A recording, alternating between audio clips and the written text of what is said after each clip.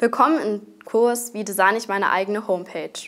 Ihr werdet nun in der ersten Woche zehn Lektionen euch ansehen und in der zweiten Woche genauso viele Lektionen. Nach jeder Lektion kommt ein kleines Quiz. Nach den zwei Wochen werdet ihr eure eigene Homepage designen und sie hochladen. Wie und wo, das erzählen wir euch in der zweiten Woche. Nun starten wir mit der ersten Lektion Wie funktioniert das Web? Das Internet ist ein Zusammenschluss vieler Computer. Untereinander wird der Datenaustausch über Kommunikationsprotokolle geregelt. Nun ein paar Fakten. 1969 waren nur vier Rechner im Internet.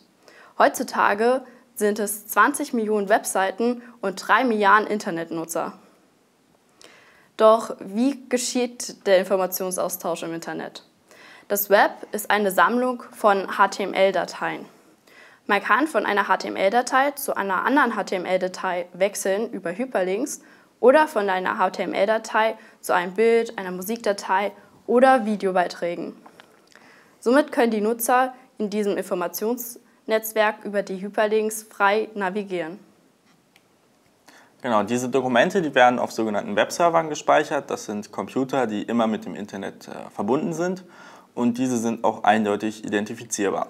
Und einmal als Beispiel, wie man so eine äh, Website anfragt. Also ihr gebt im Browser die URL, zum Beispiel https open.hpi.de courses homepage 2016, das ist die Adresse zu unserem Kurs hier, ein äh, spezielle Software bzw. ein eigener dafür vorgesehener Server übersetzt diesen sogenannten Domainnamen in die IP-Adresse. Das könnt ihr euch vorstellen wie ein Telefonbuch.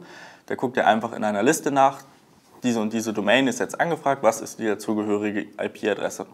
Das ist dann diese eindeutig identifizierbare Adresse, mit der dann der Browser die Anfrage an den Computer sendet und äh, der Webserver antwortet dann mit der Website, die ihr angefragt habt. Genau, das links seht ihr einmal so ein Rechenzentrum, da sind die Server typischerweise vorhanden. Ähm, generell funktioniert das Internet nach dem sogenannten Client-Server-Prinzip. Das heißt, wenn ihr normal im Web unterwegs seid, dann seid ihr der Client. Das heißt, ihr fragt die Dokumente an und der Webserver liefert die Dokumente aus. Ähm, der Client, das kann euer PC zu Hause sein, das kann euer Laptop unterwegs sein, das kann euer Smartphone in der U-Bahn sein. Der Server, das steht typischerweise in einem großen Rechenzentrum. Diese Rolle kann sich aber auch ändern. Prinzipiell könntet ihr auch ähm, der Webserver sein. Und jetzt nochmal zu den Protokollen, die Lisa eben angesprochen hatte. Das wichtigste ist das IP-Protokoll, sogenannte Internetprotokoll. Darüber werden alle wichtigen ähm, weiteren Protokolle geregelt und die Grundkommunikation. Wenn ihr zum Beispiel HTML-Dateien übertragen wollt, dann funktioniert das mit dem HTTP-Protokoll, das Hypertext Transfer Protokoll. Das ist eben zuständig für die Übertragung von Webseiten. Davon gibt es noch eine gesicherte Variante, das ist das HTTPS-Protokoll. Das erkennt ihr im Browser an dem grünen Schlosssymbol.